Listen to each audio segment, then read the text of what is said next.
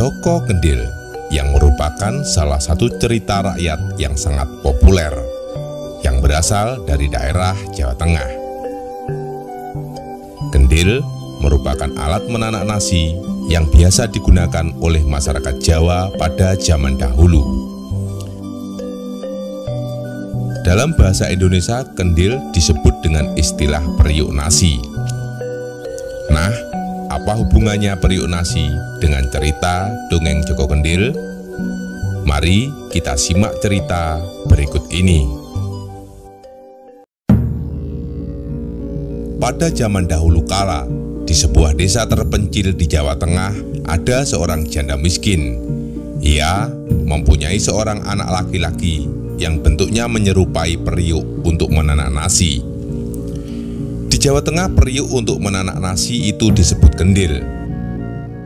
Karena anak laki-laki itu menyerupai kendil, maka ia dikenal dengan nama Joko Kendil. Meskipun anaknya seperti kendil, namun sang ibu tidak merasa malu maupun menyesal. Bahkan sebaliknya, ia sangat menyayangi anaknya dengan tulus. Tahun demi tahun Joko Kendil bertambah umur dan semakin dewasa, namun tubuhnya tidak banyak berubah, tetap seperti Kendil. Pada suatu hari Joko Kendil menyampaikan keinginannya untuk segera menikah. Tentu saja ibunya sangat bingung. Siapa yang mau menikah dengan anaknya yang berbentuk kendil? Ibunya semakin bingung lagi ketika Joko Kendil menyatakan hanya mau menikah dengan putri seorang raja. Apa keinginanmu tidak keliru anakku? Engkau anak orang miskin, bentuk tubuhmu seperti kendil. Mana mungkin putri raja mau menikah denganmu, kata ibu Joko Kendil. Tapi Joko Kendil tetap mendesak untuk segera melamar putri raja untuknya. Akhirnya, pada suatu hari yang ditentukan, Joko Kendil dan ibunya menghadap sang raja. Sang raja mempunyai tiga orang putri yang cantik jelita. Ibu Joko Kendil dengan hati-hati menyampaikan bahwa maksud kedatangannya adalah untuk melamar salah satu seorang putri raja. Sang raja sangat terkejut, tetapi dengan bijaksana ia menanyakan jawabannya kepada ketiga putrinya itu. Putriku, Dewi Kantil, Dewi Mawar, dan Dewi Melati. Adakah di antara kalian yang bersedia menerima lamaran Joko Kendil? Ujar sang raja itu. Ayahanda, saya tidak sudi menikah dengan anak desa yang miskin itu. Jawab Dewi Kantil dengan ketus. Saya pun tidak mau menikah dengan makhluk aneh itu.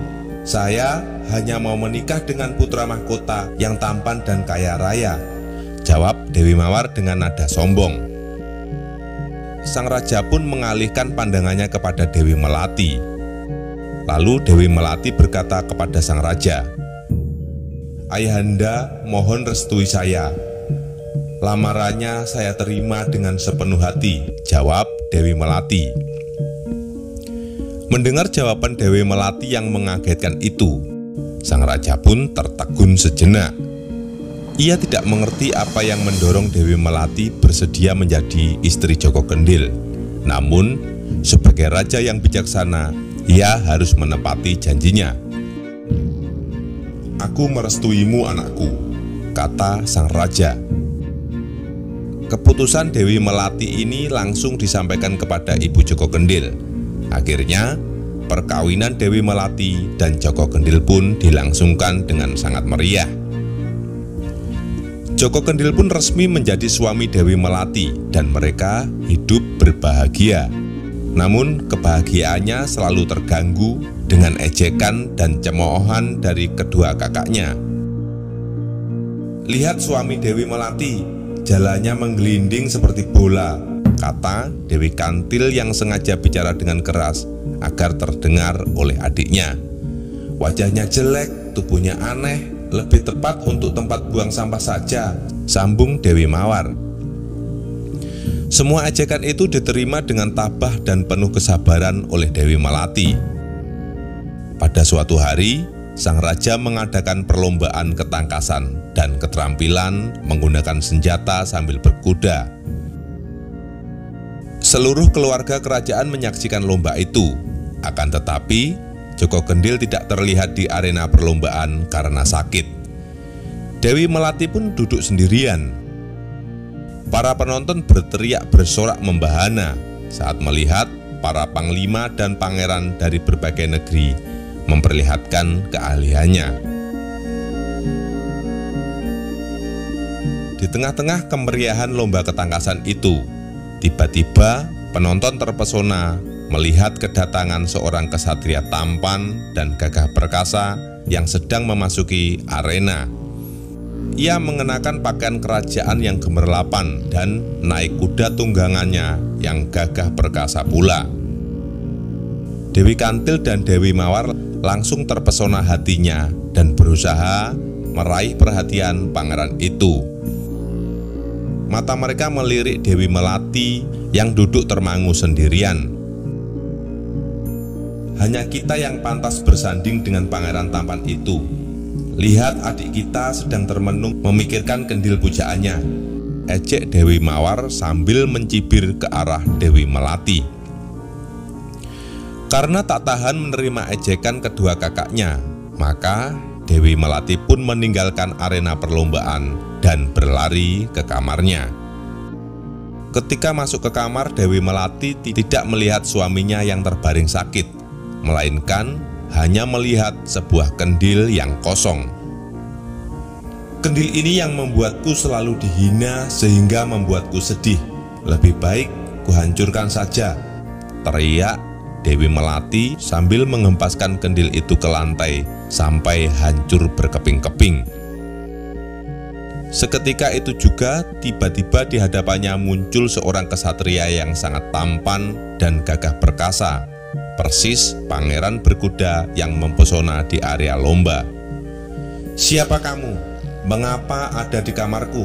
tanya Dewi Melati dengan terkejut.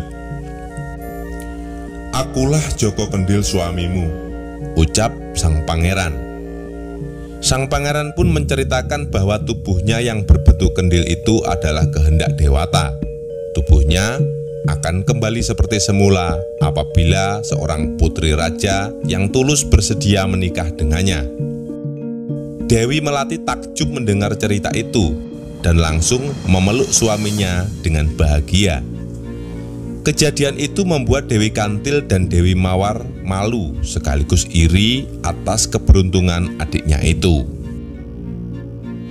Pesan dan makna dari cerita Joko Kendil ini adalah jangan melihat seseorang hanya dari luar penampilannya saja, karena yang baik rupa belum tentu baik, dan yang buruk belum tentu seburuk yang dilihat. Itulah kisah menarik dongeng Joko Kendil yang syarat akan sebuah pesan moral.